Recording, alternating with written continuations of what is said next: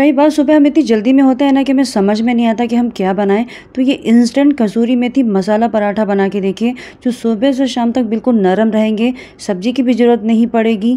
चटनी के साथ या केचप के साथ आप बच्चों को दे दीजिए टिफ़िन में मॉर्निंग ब्रेकफास्ट के लिए। बहुत ही अच्छा ऑप्शन है तो अभी आप हल्की हल्की मानसून के सीज़न में इसको ट्राई कर सकते हैं। चलिए बनाते हैं। इसको बनाने के लिए सबसे पहले आपको डेढ़ कटोरी गेहूँ का आटा लेना है, या कम या ज़्यादा आप जितने लोग के लिए बना रहे हैं। बहुत ही झटपट बन जाता है। हमने यहाँ पर मल्टीग्रेन आटे का यूज़ किया है। अब जो आटा लेते हैं, वो यूज़ कर सकते हैं।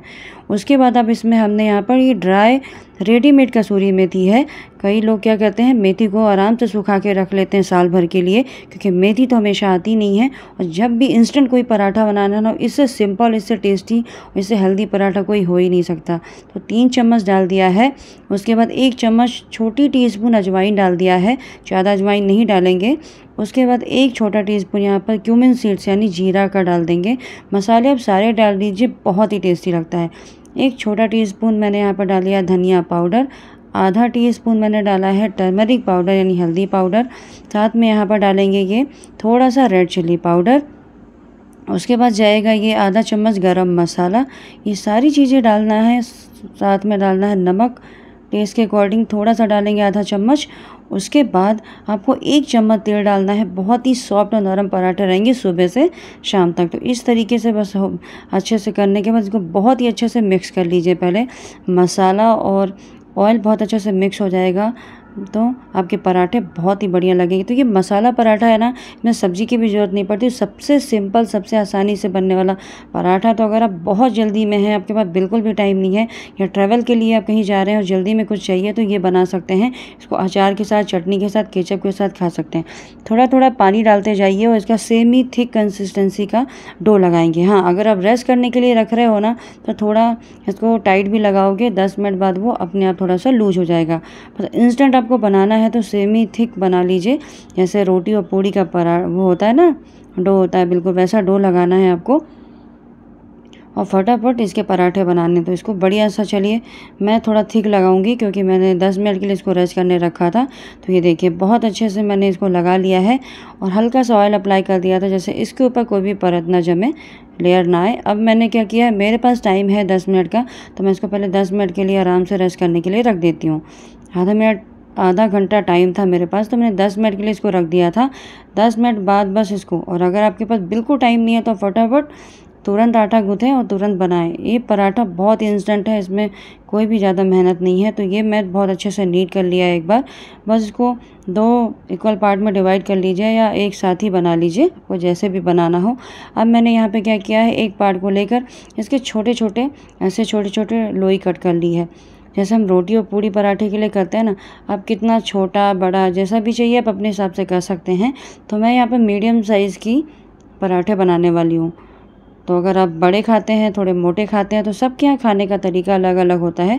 तो मैं बिल्कुल पतले पतले पराठे बनाने वाली हूँ तो सारे रोल को रख देती हूँ और एक डो ले दूँगी और अच्छे से इसको रोल करके इसको बहुत ही बढ़िया से इसके पराठे बेलूँगी। तो सारे आपको इस तरीके से पराठे बेलने और देखो बहुत ही स्मूथ पराठे बन के तैयार होंगे। बिल्कुल भी कहीं से ये फटने वाले नहीं हैं। तो चलिए, इसको बहुत ही अच्छे से रोल कर लेते हैं। तो आटा लगा के या फिर आप जिस तरीके से भी इसको रोल करना चाहते हैं, तेल लगा के उस तरीके से आप रोल कर लीजिए। तो मैं फटाफट हल्का सा डस्टिंग करती हूँ आटे की और इस तरीके से बहुत ही स्मूथली बिल्कुल पतले पतले ये कसूरी मेथी के पराठे बना के तैयार करती हूँ।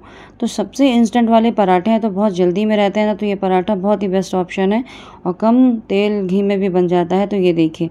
इस तरीके से आपको बिल्कुल पतले पतले इस तरीके से पराठे आपको सारे बेल लेने हैं। तो आप यहाँ पे मोटा पराठा भी बेल सकते हैं, आपको जैसा खाना पसंद हो वैसा।